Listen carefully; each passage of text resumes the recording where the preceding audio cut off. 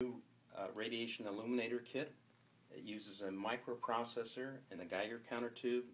It is a device that displays uh, the ambient radiation level in a home or office in a very attractive display.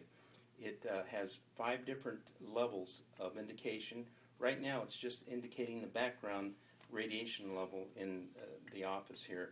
As I simulate a increase in radioactivity, you'll see other bands of yellow come on, and uh, uh, the microprocessor de- determines the level of radiation. I'm simulating this with autunite, which is a radioactive mineral. As I get closer, more and more of the yellow LEDs come on. Finally, if the level is very high, and this would be a dangerous level if this was your ambient radiation level, you can see that um, the detector is showing bright red bands. And uh, the particular this particular device uh, just plugs in the wall.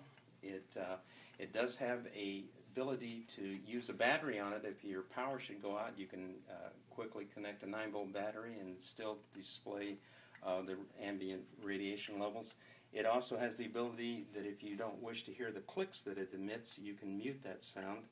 And it's completely assembled. It's in an attractive little uh, shadow box that you just hang on your wall.